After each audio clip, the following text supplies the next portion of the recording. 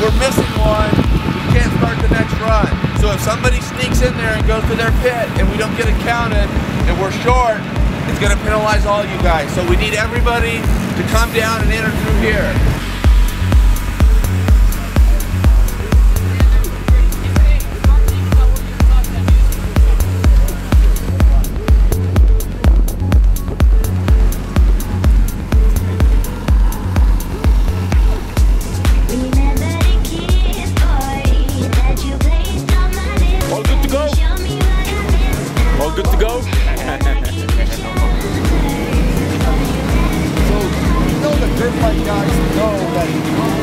The super bike guys, that super bike guys are far more sensitive to tires. So you can go around them and slow them on. And they want you to want Oh, right.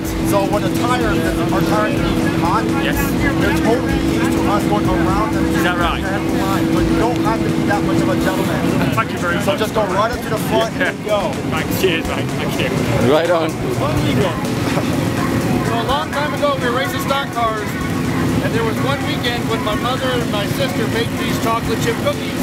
And it was an out-of-state race, and it was a big race, and we won. And so the driver made the comment that, well, it must have been the good luck cookies. So ever since then, it was every time we race, Mom or Katie, my sister, makes these cookies. Good luck cookies. Good luck cookies for Tomasz. We're glad, glad. This is Colorado. What's in those fucking cookies?